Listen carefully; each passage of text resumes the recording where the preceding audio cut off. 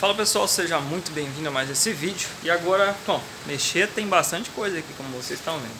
Mas agora eu quero falar sobre uma máquina de lavar que está aqui no fundo. Essa máquina aqui, ó. Vou mostrar para vocês qual que é a máquina, tá? Essa aqui eu já tirei o botãozinho dela. Ela é uma LTD 15. Essa máquina aqui, é, eu busquei na casa do cliente, um outro profissional já fez a avaliação, é, fez um orçamento para trocar a placa dela e a gente coloca na tomada e a bomba d'água já está ligando direto. Vamos ver que eu vou mostrar para vocês. Eu estou aqui com ah, uma mão só, só um minutinho. Vamos lá. Olha aí. Acabei de colocar na tomada. E a bomba d'água está ligada diretão. Ó. A bomba d'água vai aqui embaixo. Essa criança aí. Funcionando direto. Detalhe interessante, ó. O painel nem tá ligado ainda, tá? Ó. Agora que eu liguei, seria a hora dela começar a entrar em, em processo. Agora ela ligou a válvula de água junto, ó, tá? Ligou a válvula de água junto. Então agora eu vou tirar essa placa para ver se é possível a gente reparar essa placa. Vem comigo. Para tirar essa placa é bem simples, é só soltar esses dois parafusos. Aqui eu já tirei, mas vai dois parafusinhos aqui, levanta essa tampa, ó. E aí ela vai aqui embaixo. Essa placa aqui é uma das mais fáceis de tirar, tá? Solta três conectores e os dois parafusos ela já sai na mão da gente. Bom pessoal, já tô com a placa aqui na máquina. A placa na máquina não, na mesa. Então vamos lá. É, já tô com a placa aqui na mesa e eu vou colocar meu multímetro aqui na escala de continuidade, escala de diodo, postar uma ponta na outra, ele apitou. Geralmente é, o transistor que está ligado à bomba d'água é na onde está o pino escrito PN, PMP, tá, ó, PMP, ó, bem aqui, ó, tá vendo? Geralmente é na onde está ligado no pino do meio do transistor, que é o pino de saída da bomba d'água. Nesse caso aqui, então, ó, a trilha vem aqui, ó, e esse, essa carcassinha do transistor do SR aqui, ela é a mesma do pino central aqui, por isso que o pino central ele não está conectado em lugar nenhum, tá? Deixa eu passar o barulho aqui. Então, eu vou espetar por cima aqui para ver se ele me dá um curto-circuito aqui, ó. Aqui deu. E vamos ver aqui então entre, ó, gatilho e saída. Não poderia estar tá dando nada. Entre gatilho e conector também nada, ó. Tá vendo? Ele tá dando curto direto. Então eu vou retirar esse transistor, vou trocar por um de uma outra placa que eu tenho aqui, ó, tá? Pra gente ver se vai resolver o problema. Então aqui nós vamos fazer uma uma microcirurgia aqui, ó. Fazer uma microcirurgia aqui, eu vou, eu vou recortar só essa parte aqui desse silicone. Lembrando, pessoal, que eu não sou um especialista em máquina de lavar, tá? Meu conhecimento é, é, é eletrônica, mais na área da eletrônica. Eu sei que existe um existe uma cola própria para fazer essa vedação aqui depois, mas eu vou usar o silicone normal mesmo, até eu comprar essa cola. Tá? Então assim, meu conhecimento é mais na área da eletrônica. Então quando você tem conhecimento na área da eletrônica, cara, isso te abre um mundo de oportunidade. Te abre um, um mundo mesmo, porque dá para você você não tem quase que limite, cara. Você vai trabalhar em dezenas de coisas. Então, para você que gosta da eletrônica, eu te aconselho cada vez se aprofundar mais. Tá? Porque não tem limite, não tem limite, cara. Se você tiver um pouco de expertise aí, você arruma muita coisa, vive tranquilo, cuida da tua família e vida que segue. Agora eu já tô com minha, minha estação de ar quente aqui já, já ligada, a gente soltar esse carinha aqui.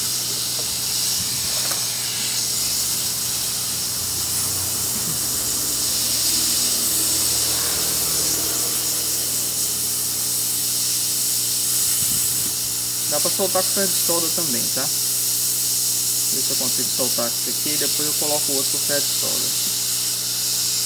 Um pouquinho difícil aqui.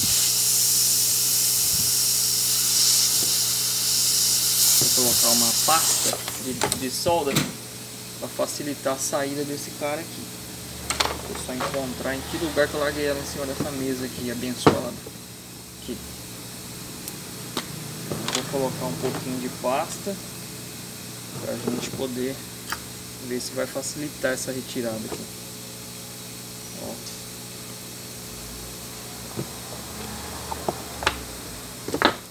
com ferro de solda eu já consigo tirar, mas deixa eu já fazer mais um teste aqui. Você ver.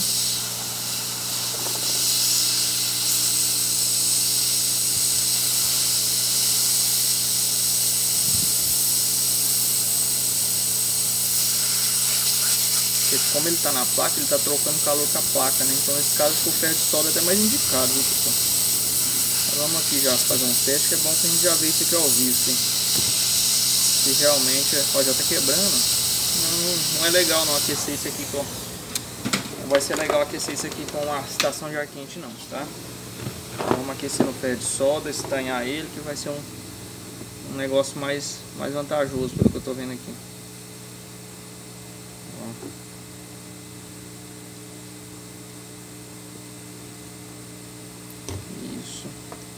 Apesar que eu já soltei um monte com ferro de solda e soltou de boa, viu? É esse aqui que tá dando trabalho. Olha lá. Saiu. Esse cara aí tá, tá batendo curto-circuito no, no multímetro. Então agora o que, que eu vou fazer? Eu vou pegar um outro aqui que eu já te falei, ó. Nesse caso aqui eu tô com uma outra placa aqui usada. Que eu já tenho uns, uns outros transistores que funcionam no lugar aqui, ó. Caso, o mesmo transistor que, que liga a parte da bomba d'água seria esse aqui, ó. Bomba. Um, dois, três, quatro daqui pra lá. Um, dois, três, quatro daqui pra lá. Eu já tirei, ó o mesmo transistor que já liga a bomba d'água, eu já retirei já consertei uma outra placa, tá? Então eu vou retirar esse outro aqui com é o mesmo número. O mesmo número do que estava ali antes que eu já observei, tá? Vamos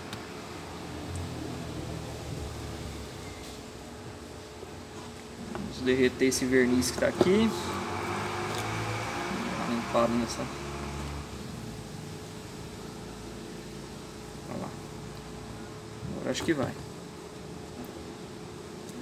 Se nós conseguimos dar uma levantadinha nele, pelo menos. Minha turbo pinça.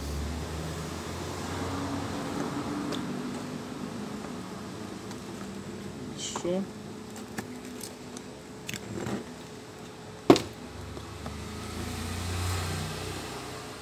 Isso. Soltar os pezinhos no bichinho.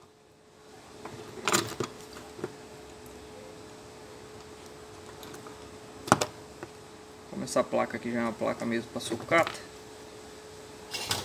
Olha.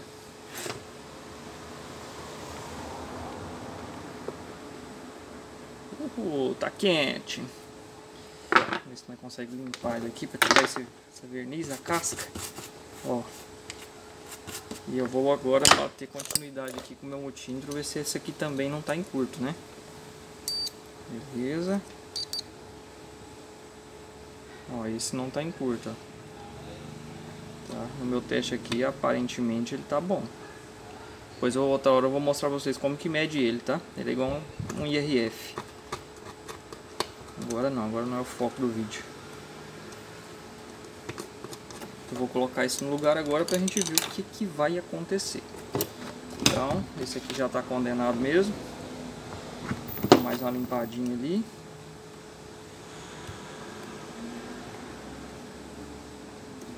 Tirar esse, essa cola que queimou aqui.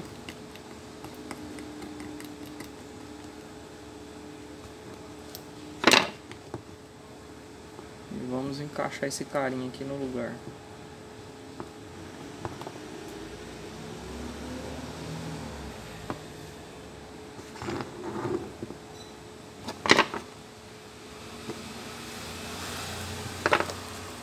E aí, vocês acham que vai funcionar ou não? Estiver assistindo aí e não chegou no final do vídeo para ver o resultado, comenta aí já. Você acha que vai funcionar ou acho que, que eu vou perder tempo aqui? Vamos lá. Eita, quebrou. Quebrou a, o pezinho da solda aqui. Quebrou não, só deitou. Ah tá. Chegou a quebrar não. Então vamos colocar por cima dela e soldar de novo. Isso.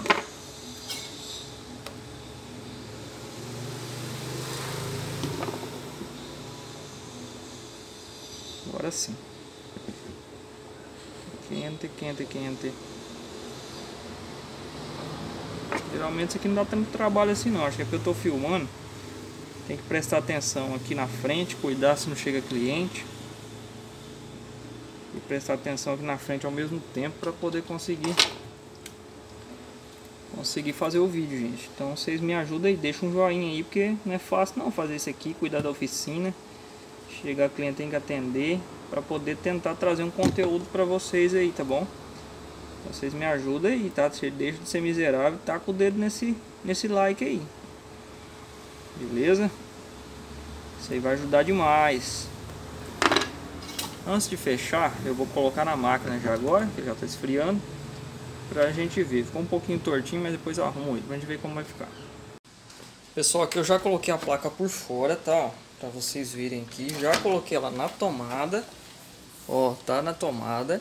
E o problema da bomba d'água ligando direto já não aconteceu mais, tá? Então, o que, que nós vamos fazer aqui agora, ó? Eu vou fazer dois testes. Eu vou ligar ela. Vocês vejam que o painel já ligou. Eu vou ver se ela vai entrar com a, com a válvula de água. Ó, válvula de água acionou, tá? Vou ligar aqui minha torneirinha aqui agora. Válvula de água acionou. Beleza, ela desliga, depois ela liga de novo, por causa da questão do sabão. Isso é, é normal nessa máquina aqui.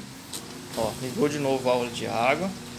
Tá, já começou a descer água na máquina. Agora eu vou mudar para centrifugação. Vamos ver se ela vai ligar a bomba d'água. Se ela ligar a bomba d'água, significa que o meu transistor está bom. Tranquilo. Opa, bomba d'água entrou em ação, olha aí. Ó. O barulhão dela aí. Bomba d'água entrou em ação. Agora eu vou desligar aqui o painel para ver se ela corta a bomba d'água. Cortou a bomba d'água. Maravilha. Então esse problema foi solucionado. Tá bom? Então agora o que, que eu vou fazer? Vou passar um orçamento. Vou, claro, vou testar mais, né? Colocar para bater roupa. Testar em uns dois, três dias. E vou passar um orçamento para o cliente de uma placa nova, se ele vai optar em colocar uma placa nova ou se ele vai optar pelo recondicionamento da placa. Pessoal, é isso daí. Se você gostou desse, desse vídeo, né, mais essa dica importante e valiosa para quem trabalha no ramo aí, é, não deixe de se inscrever, curtir, compartilhar e deixar o seu joinha. É, eu acho muito importante vocês comentarem aqui embaixo dos vídeos para mim saber se tem mais técnicos que acompanham o canal aqui, que trabalham também com máquinas, ventiladores, outras coisas diversas, né? Para a gente trocar ideia, trocar informação, que eu não sou dono da verdade, eu aprendo todo dia com vocês. Então, para mim é muito importante saber se tem gente aí que faz a mesma coisa, que também está na luta e um aprendendo com o outro, assim a gente vai evoluindo, beleza? Grande abraço, até o próximo vídeo. E não esquece de compartilhar com todo mundo para me ajudar. Eu quero fazer esse canal chegar a 100 mil inscritos em breve. Conto com a ajuda de vocês.